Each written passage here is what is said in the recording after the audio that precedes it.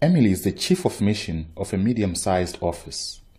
On top of her duties, she and her team are running a very important project and its deadline is approaching.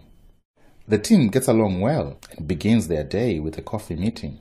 We are making good progress. Remember, we have to finish the project on time. The deadline is approaching, so the workload is getting heavier, but I am sure that we will manage to get it all done. I used to be very passionate about this project, but now with the deadline approaching, working hours have gone beyond what I can manage.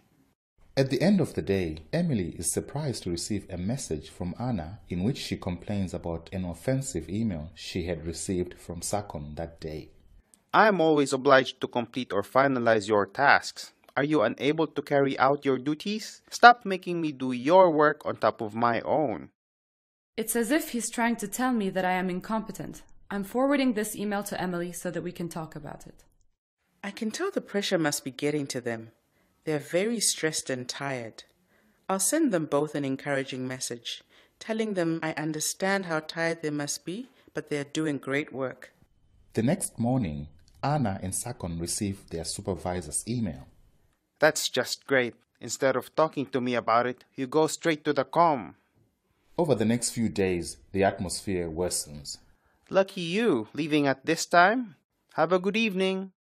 Ah, I am so frustrated and tired of having to do everyone's work. I am the only one that stays after hours. Anna could be doing her job better. She just doesn't care. Emily notices that her team is not doing well and that she needs to do something for the atmosphere to improve and to reach the deadline of the project. I thought my email would have been enough to settle this issue, but everything has gotten worse. They barely speak to each other, nor do they attend our morning coffee meetings anymore. This is affecting our work. I have to do something more. Emily decides to get advice from another chief of mission on how to manage conflict. Well, in my experience, I learned that as managers, we should take workplace conflict seriously and address the issue with each person separately first so it does not escalate. You are right. I have to start over and address this issue differently. Emily starts over and begins by asking open ended questions. She speaks with each employee individually first and listens actively. She then asks both employees separately first if they would be willing to meet for a discussion.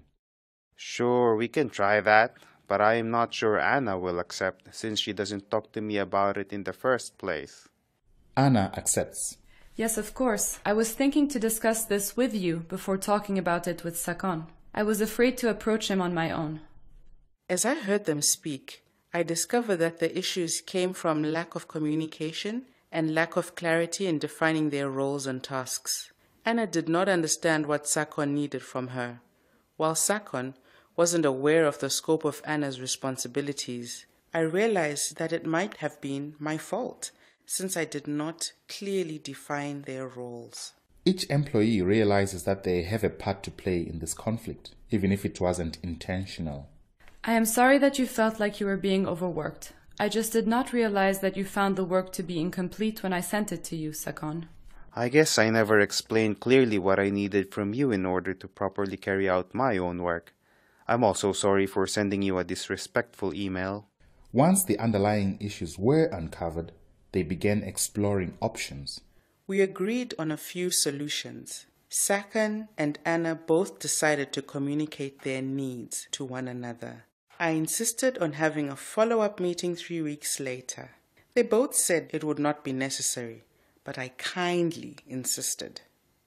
After a few days, the atmosphere in the office improved. The follow up meeting allowed Emily to verify if the solutions put in place were working or not, and they were.